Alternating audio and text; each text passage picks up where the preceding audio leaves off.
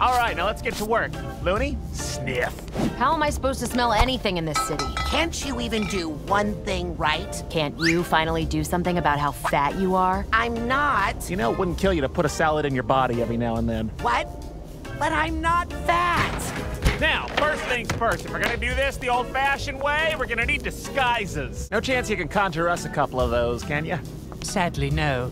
I'm afraid without my grimoire, my powers are just a tad limited in the human world. What, you can't memorize your fucking spells? Oh, your memory's so great? What's his phone number? Fuck you. Exactly.